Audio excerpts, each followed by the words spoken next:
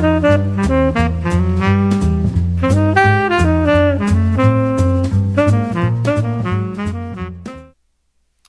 everyone, welcome to A Player's Guide to Music Theory. I'm Mark Dejong. Today we're going to explore a concept I refer to as mode mixture. The use of the word mode I'm referring to is just a group of notes in the context of a parent scale, for instance, the major scale. By the way, a scale is just a group of notes in a sequence, but I digress.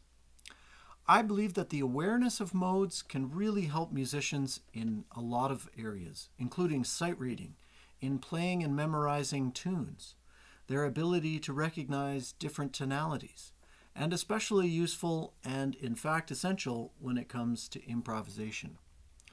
If you're watching this video, I'm guessing it's very likely you are already very familiar with the major scale. Did you know that the scale also has a mode name? The major scale is also known as the Ionian mode. So when you play concert B flat scale in band rehearsal, you are actually playing B flat Ionian. Kind of cool, right? In under two minutes, you have already learned your first mode. So here is concert B flat Ionian, or major scale, on the tenor saxophone.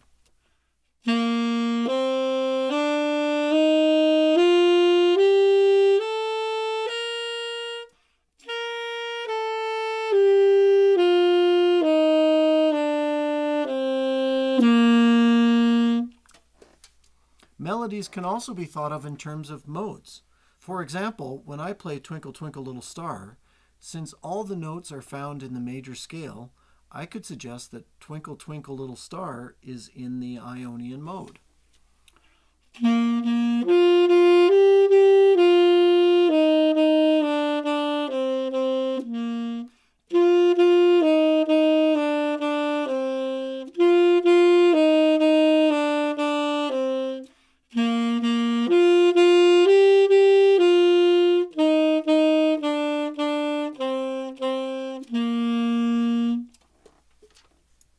Here's a little exercise for you to try. Play Happy Birthday on your instrument. Notice that all the notes in the tune are written in the major scale or in the Ionian mode. Okay, so you may already be aware that there are 12 different major keys. So 12 different Ionian modes. Over time, it'll be helpful for you to eventually learn all 12 keys, but we're not going to focus on that today. Let's go back to the Ionian mode. When you play the scale, try thinking of each note as a number. So seven different notes equals seven different numbers. I'm playing concert B flat or C major on the tenor saxophone. So C would be 1, D is 2, E is 3, F is 4, G is 5, A is 6, B is 7. So each note has a number. Assigning the note names to numbers is really helpful in learning the scale because it helps you transpose that scale to other keys when you're ready to do so. How do you think of the notes in the scales? Do you think note names? Do you think of the keys on your instrument? Do you think of the keyboard? Do you think of the notes on the staff? Or do you just let your fingers do the walking on your instrument? Before moving on, let me just suggest that if you play the scale without thinking at all, you don't really know the scale. The best way to know the scale is to think of all the above. Can you say the note names and move your fingers on the instruments at the same time? Can you sing the notes and say the note names as you're singing them? For instance, C, D, E, F, G, A, B, C, B, A, G, F, E, D, C. A really good way to learn the notes in the scales is to write them out. Get a piece of staff paper, a pencil, and write out each of the notes, ascending and descending. It's a great way to practice. Once you can do all these things, you really know the scale. Next, we're going to explore the sound of a new mode, and we're going to do that by altering just one note of the major scale, or the Ionian mode, in order to create another mode. From now on, I'm just going to refer to the key of C major just to keep things simple. Technically, I'm in the key of concert B flat, but on the tenor, I'm thinking in the key of C. So remember how I asked you to think of the notes in terms of numbers? So now count up to the fourth note in that scale, concert B flat major. So for me, I would go C, D, E, F. F is the fourth note. Now I want you to raise that fourth note by a half step. It's F sharp. Now I want you to say the notes in order. C, D, E, F sharp, G, A, B, C. And back down. C, B, A, G, F sharp, E, D, C. Next, I want you to play it on your instrument.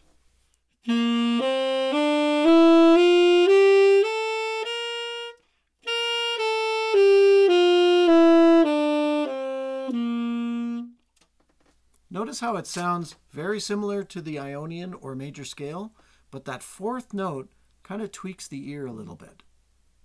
Congratulations, you've just learned the Lydian mode. So, as you can see, playing C Lydian for me is not really difficult if I already know C Ionian, or the major scale, because it just has one note that is different, the F sharp instead of the F natural. In jazz, we refer to the sharp 4 or raised 4 a lot, and the sound of Lydian gives a very bright sound. I consider the Lydian mode the brightest of all the modes of the major scale. A good exercise to practice is to play the two modes back and forth, alternating using the raised 4 and the regular 4. Lean into the sharp 4. Have some fun with the tension that it creates. If you know a few scales on your instrument, play each of those major scales, and then play the equivalent Lydian mode by raising the fourth degree. If you can go back and forth comfortably, then you'll really know those two modes. Let's try it. Here's concert C major.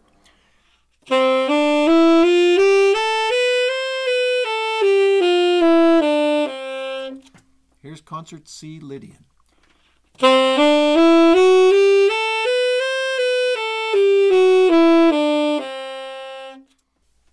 Lydian mode. Next up, we're going to go through the three modes that we just explored by changing one note at a time. So this means we're going to start with the brightest mode, C Lydian, with the raised 4, then lower that fourth note to the natural 4.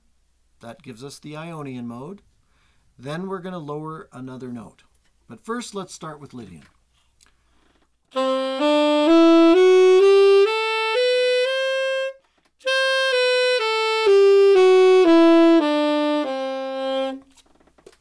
Next, I'm going to lower that fourth degree, giving me C Ionian, or the major scale.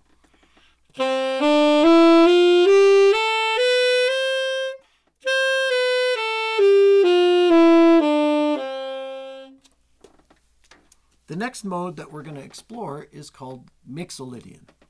You might notice that all the mode names of the major scale have Greek names.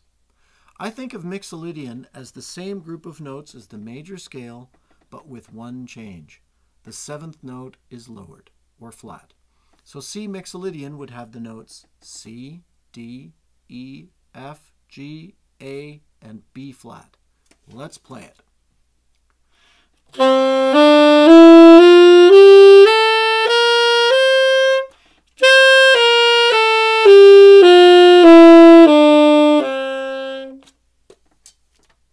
The lowered seventh has a really distinctive sound, and it's used all the time in blues, in jazz, in popular music, as well as classical and folk music. Now practice playing notes from the Mixolydian mode. Once you are comfortable doing that, practice playing random notes from each of the three modes we've learned so far. Start by playing the mode in sequence, then play some random notes from the mode. Let's try it. Here is C Ionian. Here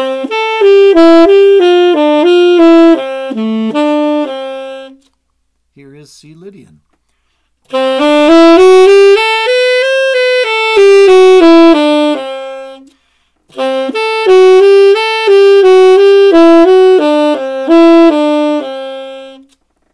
Here is C Mixolydian.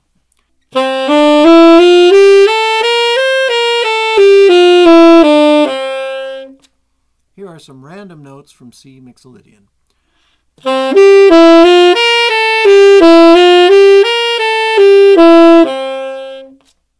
Okay, we're now ready to move on to our next mode. This one is called Dorian. So keep the notes of the Mixolydian mode, but we're going to lower the third. The third is lowered, and so now our collection of notes is C, D, E flat, F, G, A, B flat, and C. Here's what that mode sounds like.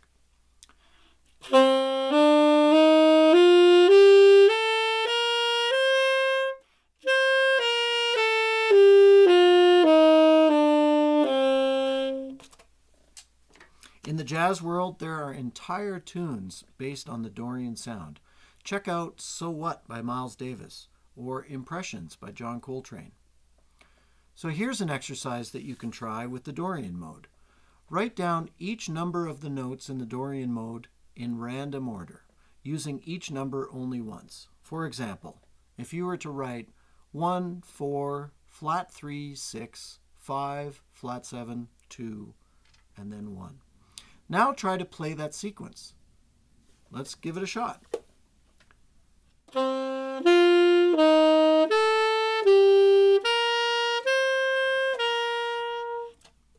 Write another sequence. Try again. Apply it to the three previous modes that we've learned. If you can do this a few times without making any mistakes, you really own the mode. Congrats! We have now gone through four out of seven modes. So that means there's only three more to go.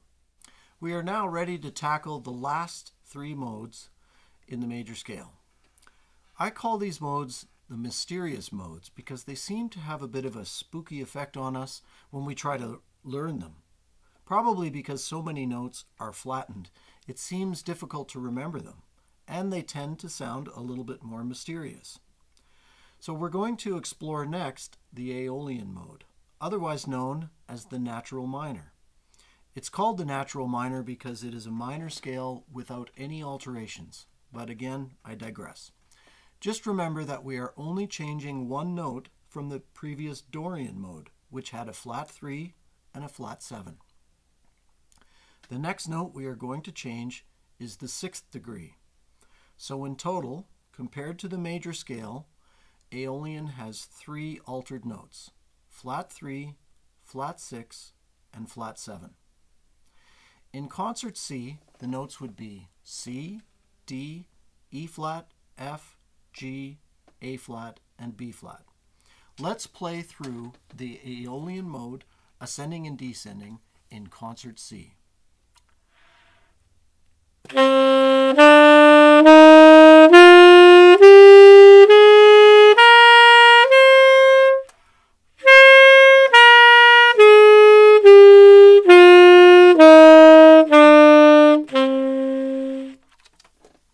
Again, that was Concert C Aeolian mode.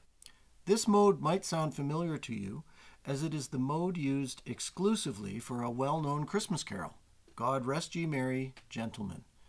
If you are unfamiliar with the tune, here it is.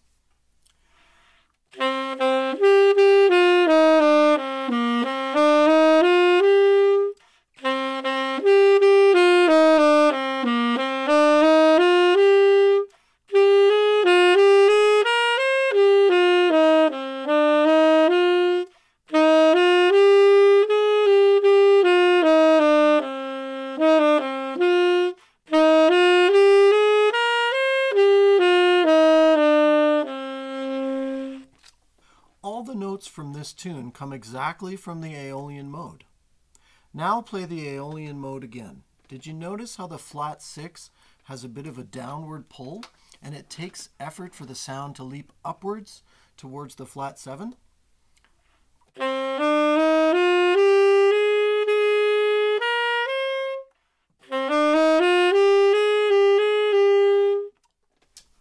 That flat 6 to 5 is the downward pull that I'm talking about. Well, thanks for sticking with me so far. Two more modes to go. Flat 2. That's the next alteration. Compared to the Aeolian mode, which had flat 3, flat 6, and flat 7, the next mode, which is called Phrygian, adds the flat 2. So the notes in concert C would be C, D flat, E flat, F, G, A flat, and B flat. So let's play the concert C Phrygian mode.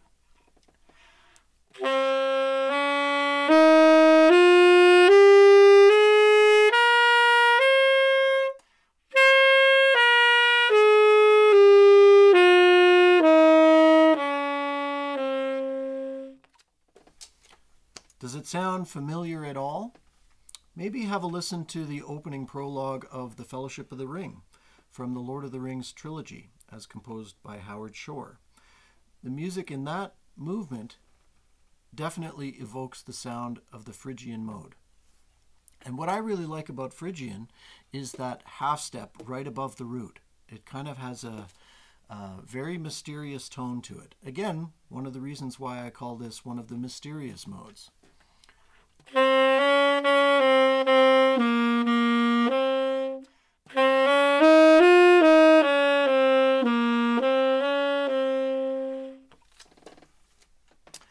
This leaves us with one more mode to explore, the Locrian mode. Take the notes of the Phrygian and change one more note. Lower the fifth degree. So the scale in C concert would be C, D flat, E flat, F, G flat, A flat, and B flat. Let's play it. Concert C Locrian.